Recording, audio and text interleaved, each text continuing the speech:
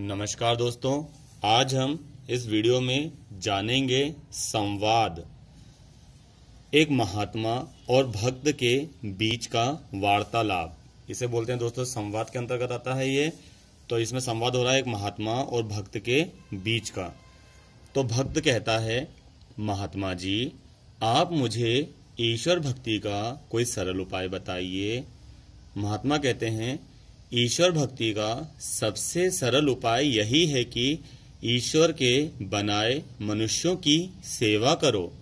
भक्त कहता है, दोस्तों, महात्मा जी, यह तो मनुष्य की सेवा हुई।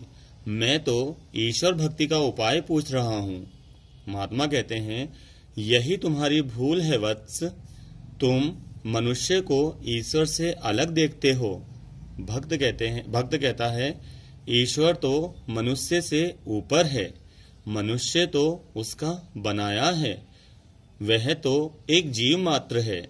महात्मा कहते हैं, अरे मूर्ख, मनुष्य के अंदर जो आत्मा है, वह परमात्मा का ही तो अंश है।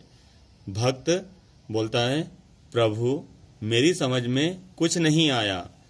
महात्मा कहते हैं, देखो, आत्मा को परमात्मा कहा गया है ना? जब प्रत्येक व्यक्ति में ईश्वर का अंश मौजूद है तो वह भी परमात्मा का ही तो रूप हुआ ना। भक्त, धन्य हो महात्मा जी। आप धन्य हो महात्मा जी। आपने तो मेरी आँखें खोल दी। अब मनुष्य की सेवा में जुट जाऊँगा। धन्यवाद दोस्तों।